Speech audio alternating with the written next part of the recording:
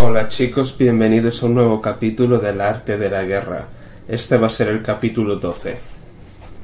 El ataque con fuego.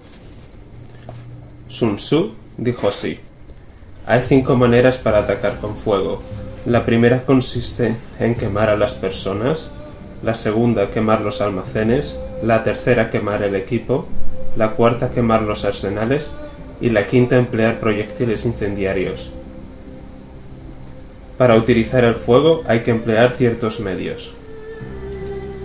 El material incendiario debe estar siempre a mano, ya que si no se perdería mucho tiempo y arriesgaría a causar un fuego accidentalmente.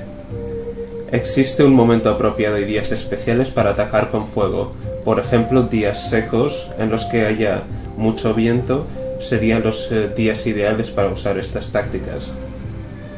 Por momentos apropiados tenemos que entender aquellos en los que hace un calor seco, por días especiales, cuando la luna está en las constelaciones de Sagitario, de Alfarats, de Primera o de Chen, porque en estos momentos se levantan los vientos. En caso de ataque con fuego hay que estar preparado para encontrarse con cinco posibles efectos. Primero, cuando el fuego se origina en el campo enemigo, responde de inmediato con un ataque desde fuera, pero si sus tropas permanecen tranquilas, ten paciencia y no ataques. Esto es debido a que el fuego es un arma que normalmente, aparte de causar mucho daño, causa pánico. Si el enemigo no está causando pánico es porque algo está ocurriendo. Segundo, cuando el fuego está en su momento álgido, si tienes posibilidad, fortalecelo, refuérzalo. Si no, espera que te surta efecto. Tercero, si puedes provocar incendios en el exterior del campamento enemigo, no es preciso esperar a que estallen en el interior. Provoca los incendios en el momento preciso. Esto es hecho para conseguir el máximo efecto posible y así evitar que el enemigo pueda eh, apagarlos.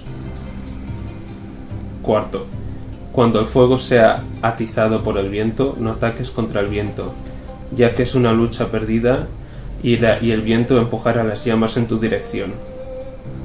Quinto, si el viento sopla de día, se calmará de noche. El ejército tiene que conocer los diferentes casos de ataque con fuego y mantenerse alerta, ya que es un arma muy peligrosa y si no se usa correctamente podría volverse contra nuestro ejército. Aquellos que usan el incendio para reforzar sus ataques poseen la inteligencia de su lado, los que usan el agua, la fuerza. El agua puede aislar a un enemigo, pero no puede deteriorar su logística. Infeliz de aquel que trata de ganar batallas y apoderarse de los objetivos fijados, pero sin lograr ventaja alguna de estos resultados, es de mal presagio y se llama pérdida de tiempo. Esto es debido a que muchos generales que a veces, llevados por sus propias circunstancias personales, abandonan los ejércitos de las campañas y se dedican a hacer otras cosas, lo cual lleva a una pérdida de hombres, dinero y tiempo. Por esto se dice que el gobernante sabio delibera acerca de los planes y de los buenos generales los ponen en práctica, para esto se necesita tener un buen soberano y generales que obedezcan y sean leales. No actúes sino en interés del Estado. Si no estás en situación de lograr el éxito, no recurras al ejército. No luches si no estás en peligro. Así salvarás las vidas de tus hombres y la tuya. Un gobernante no puede enviar a sus tropas al campo de batalla por un ataque de cólera ni un general por propio resentimiento.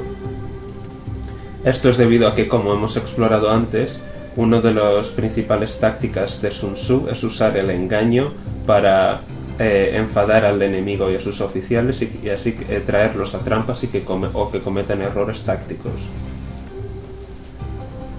Si es posible que un hombre encolerizado recupere su serenidad y que aquel que padece de agravio se cure, un estado que ha sido destrozado no puede volver a existir, ni los muertos pueden volver a la vida.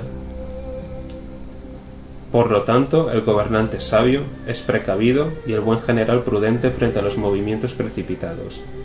De este modo, el Estado está protegido y el ejército intacto.